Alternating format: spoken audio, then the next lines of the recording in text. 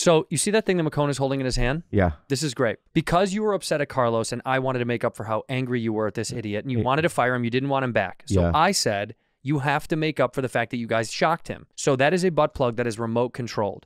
He is going to put that you. in his tush, and at any time during the show, you're allowed to uh, make it go off. Number one, I have to see it go in. Yeah, duh. Before it goes in, I need it not, to see if the remote control works. You can feel it and test it. McCone, get over bring here. it over. Bring it over, man. So there's an app So for it, there's an app. And you can feel it, Let me feel it. and there's all different s- sensations. But it feels good though. It's gonna feel good to him. I don't think so. Okay. That whole thing's going in his butt. Oh yeah, yeah, yeah, yeah, yeah. Oh yeah, yeah, yeah, yeah, yeah. okay. Oh yeah, yeah. That's good. Put it on the. That's put, real good. Put it up to the mic so they can hear it when it. Yeah, that's good. He can move it around Oh yeah, too. yeah, yeah.